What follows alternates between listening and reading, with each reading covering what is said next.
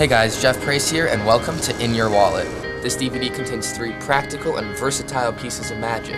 So the DVD includes a custom design gimmick that looks and feels like a real debit card in every way. So you'll be able to do one of the strongest and most unique card revelations you'll ever see.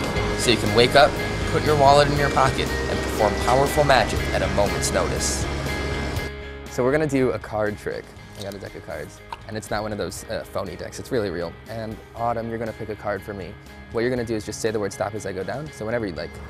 Stop. Right here? Okay, I'm gonna give you the card. Show everyone, I'll look away. Is it a good one? Awesome. Just make sure I can't see it. Perfect. And what we're gonna do is we're gonna split the deck, and I'm gonna very fairly take your card, put it inside the center like that. I'm gonna put it just like that. All right. So you can agree that's somewhere in the middle, not, not that I know, but uh, this is what we're gonna do. I'm gonna give it actually a little bit of a shuffle. Slightly messy.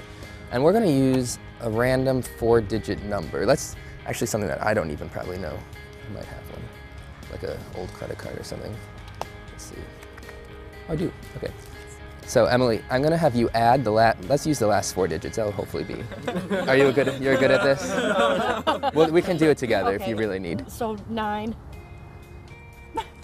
15, 17. 17, okay. So we shuffled the deck and you put, or you put the card back in the deck, but what if the, whatever card you picked was at that position and you said 17? Yeah. Okay, uh, Nate, can you take the deck and just deal down 16 cards onto the table and then hold on to the 17th? 16? Yeah, 16.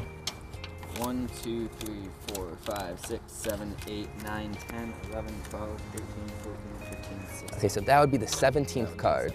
So with any luck, hopefully it's gonna be the one you picked. You were just thinking of a card. Which one were you thinking of?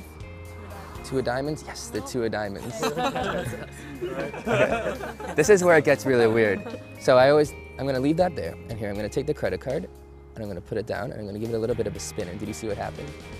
Look, the numbers that you just added, look. Holy Oh, God.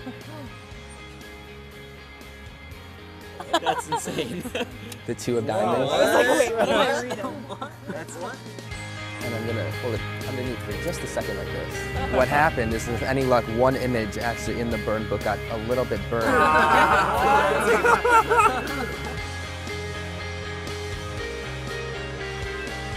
now leaving a picture.